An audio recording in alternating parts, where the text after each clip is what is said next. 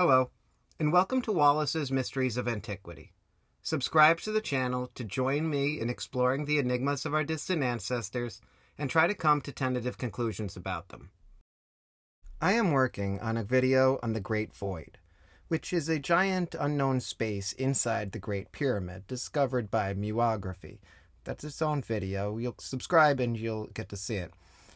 But because of its proximity to the Grand Gallery, it forced my script into a corner that I needed to explain my thoughts on the strange quirks of the Grand Gallery for any of it to make sense.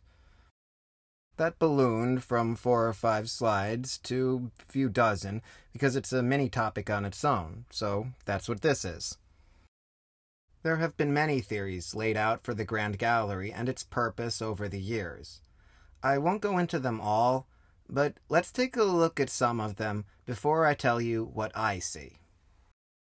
Some suggest it could have been used as an internal construction ramp. And while this was probably so for workers and maybe water and small tools while the top was open, I don't think they dragged large stones up it, as the huge plug stones would have been in the way, and there's nowhere else they could have stored them. Jean Pierre Houdin suggested a counterweight system to drag the huge granite roofing stones to the king's chamber. This actually utilized the plug stones as a counterweight, but then you still need to reset by pulling the counterweight back up.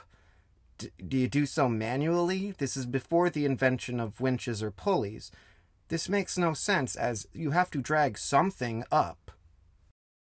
I've seen plenty of alternative ideas that it was used as a pump, ramjet, or a siphon, but the pyramid is not even remotely airtight, and siphons simply don't work for heights over 33 feet.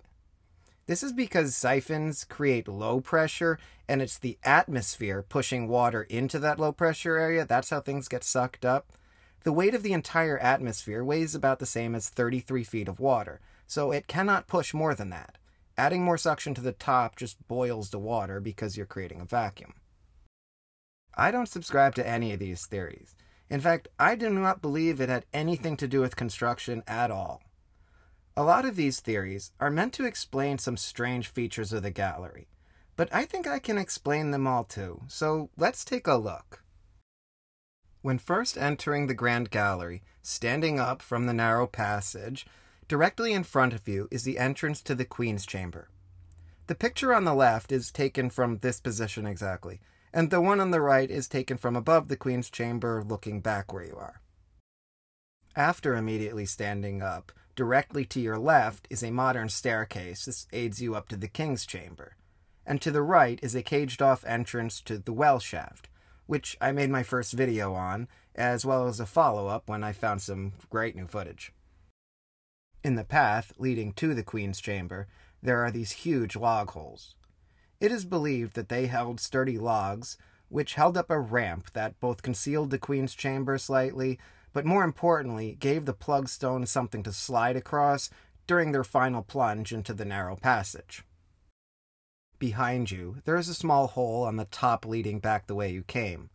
This was created by Howard Vyse with dynamite, and it's just a scar. It doesn't lead anywhere. At the top, to the left side, there is a hole in the corbel below the ceiling. This is a tunnel, believed to be carved by the builders themselves, in order to access the first relieving chamber. It's likely when the king's chamber ceiling cracked, they wanted to inspect it to see how bad the damage really was. Directly in front of the way to the king's chamber is a great tragedy. Called the Step by modern archaeologists, it marks the center point of the pyramid but it was not a step, or at least probably not. This is how it was found, with a V shape that looks very clearly designed to have a rope slot through it. This is, again, thought to be possibly construction related. It's possible this was carved by looters, as this was the assumption the Ministry of Antiquities made when deciding to destroy all the evidence to make it easier for tourists, as opposed to, you know, building a wooden floor or something. Fucking stupid, if you ask me. Now, on to the anomalies that I think people are really inventing solutions to. There are 28 notches along the floor, against the wall on each side of the gallery. 25 of them have corresponding notches in the wall, and they range from between 5 and 7 inches deep, and the ones in the wall are about 20 to 23 inches tall. Some of them have mortar in them, possibly from the original builders, but it seems that some of them have been mortared, then that mortar was chipped away slightly. No idea why or by who. On the third course, there is a groove on both sides, which has a huge amount of damage done to it. It almost appears as if something was mortared into place and then cut away. There are also various other small holes that we can't really be sure are original or maybe patchwork repairs that have fallen away, but they're most likely functional. We have to remember that the New Kingdom very likely was working and renovating this space. Many of the theories that I've talked about regarding the Grand Gallery utilize these notches in some way during construction, including the one by Houdin. And the most common interpretation from Egyptologists that I see is that these things held logs that simply held back the plug stones, allowing them to let them go very slowly. But I'm not sure why you would want to do that. They didn't do that in the Bent Pyramid satellite, which they constructed right before this one. So, what conclusion did I come up with? I approached this looking at it from a different perspective, from its usage. We can't know right now, anyway, if it had secondary construction usage. But we for certain know that one of its usages must have been that it was in the path of the funerary procession. Let's put ourselves in the position of one of the religious elders after Khufu has just died.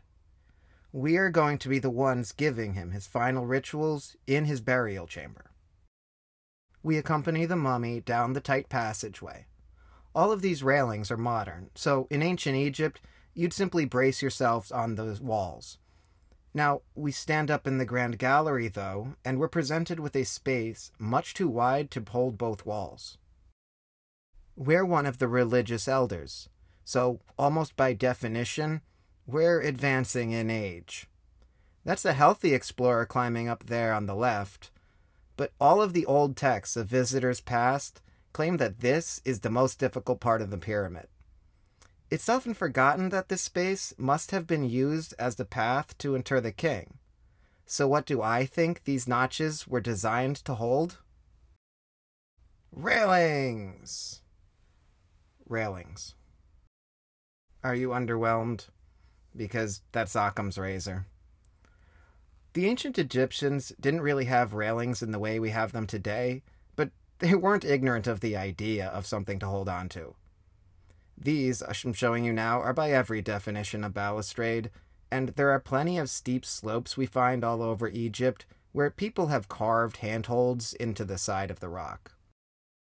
I think the wooden scaffolding that Houdin came out with for his counterweight system probably is actually very similar to what the main structure was, as he did design it specifically to fit into all of the notches and the known holes. But instead of a counterweight, I propose simple vertical or slatted bars to grab onto. These would aid workers climbing into the king's chamber during construction, but their primary purpose was to aid the funerary procession, some of which may be old and fragile, and some of whom may be literally carrying or dragging the mummy of the king himself. I mean, we put railings there because we found it so hard to climb. If you subscribe to History for Granite's idea that the tomb could be reopened and visited, that makes the need for something to hold on to even greater, as you're now using it more than once. I think it's likely that they would have then removed and reused most of the wood. This explains both the damage on the third corbel and why some of them are mortared and other holes are not. They likely gave up on mortaring due to time and just let the plugs slide as soon as everything of value was removed. Though I suppose it's possible they left it and looters stole all the wood too. Thank you for listening. respectfully discuss my ideas in the comments, or post your own thoughts about the weird quirks of the Grand Gallery or its uses. And subscribe if you wish to continue to join me in exploring the enigmas of our distant ancestors together.